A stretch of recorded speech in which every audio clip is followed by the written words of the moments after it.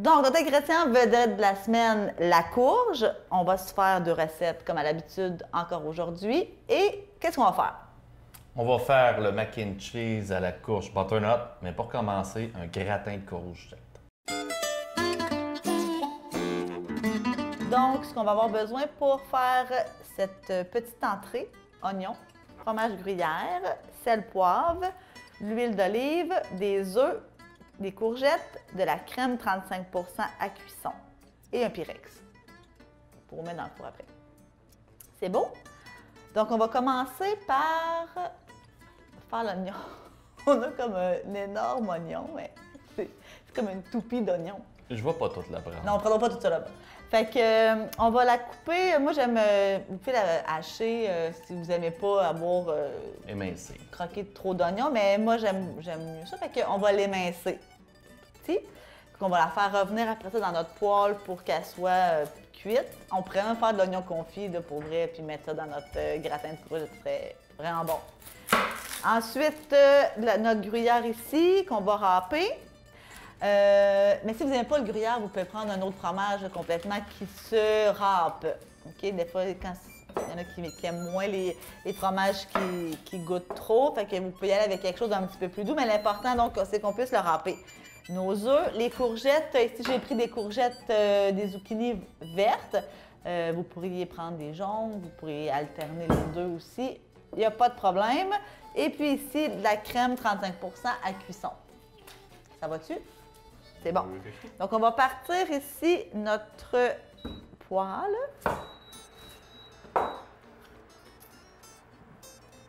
Donc, pendant que tu éminces l'oignon, moi, je vais couper euh, les courges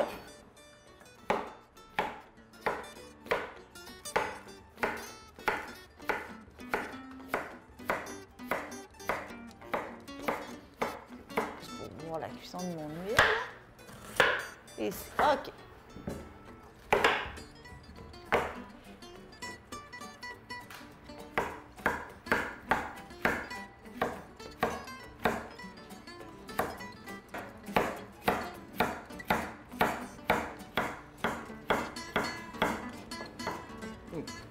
que tu as assez d'oignons? Oui, c'est oh, il est fort. Oui, c'est beau, c'est beau.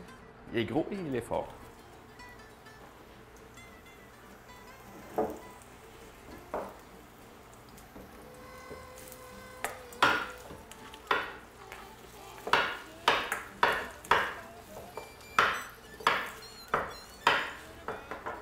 Assaisonner ça ici.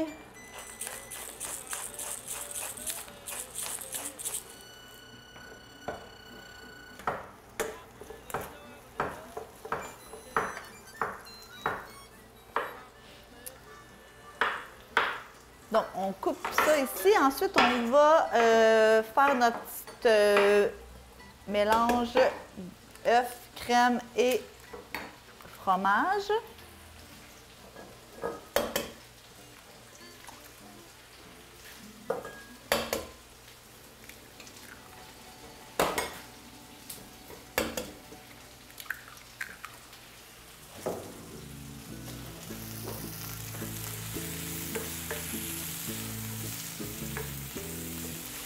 Que tu as assez de courgettes?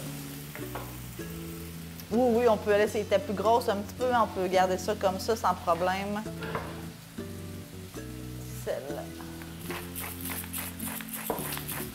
Prenez le fromage. Oui, on va ramper. Ici.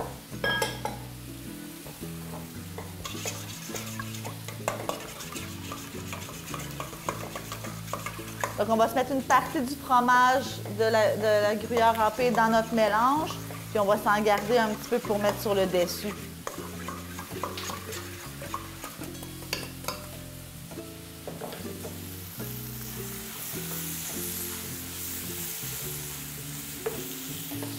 C'est prêt pour le fromage? Oui, on peut, on peut le mettre dedans, dans notre mélange.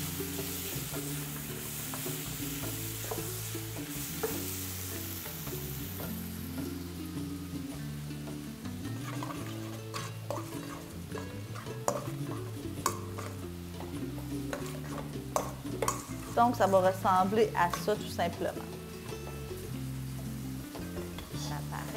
Ensuite, ça, on va arrêter ça. Donc, nos oignons sont devenus transparents. Ils ont cuit un petit peu, mais ils vont, continuer leur cuisson au four de toute façon.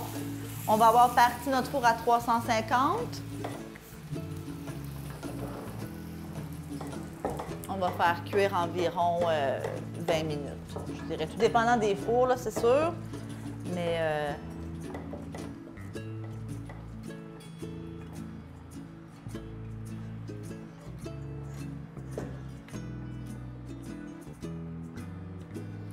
aurait pu couper les. euh, comme en lame, comme en ruban, là, avec comme une mandoline. On aurait pu faire ça également. Bon, ça se fait aussi euh, juste à l'économe. Oui.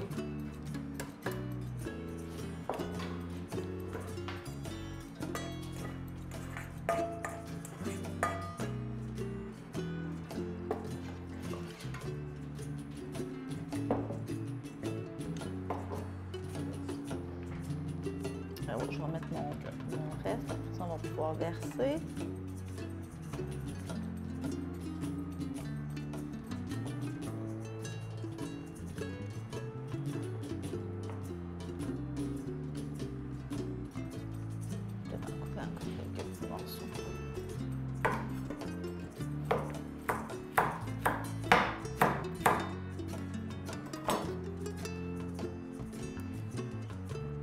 Mettre notre, notre mélange.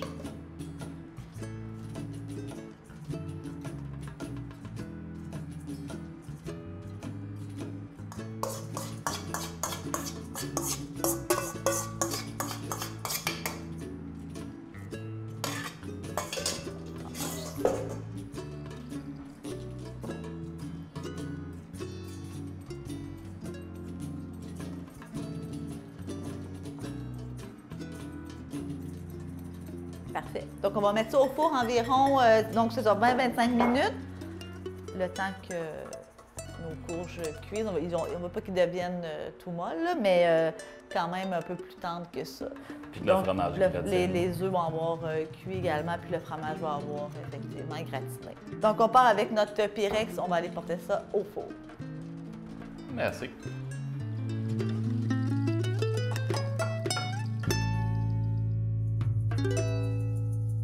Donc, on a sorti notre gratin de courgettes.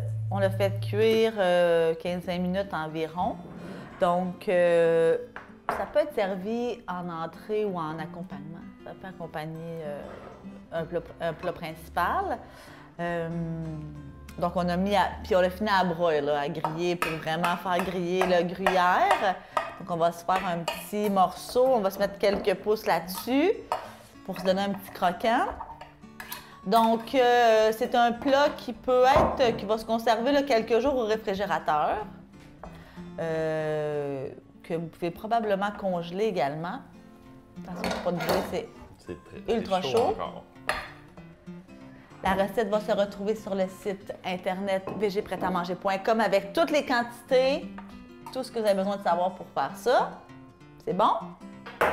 Faites pas cuire trop longtemps pour pas que la courge devienne comme tout molle là, non plus. On veut que ça puisse se tenir quand même un petit peu.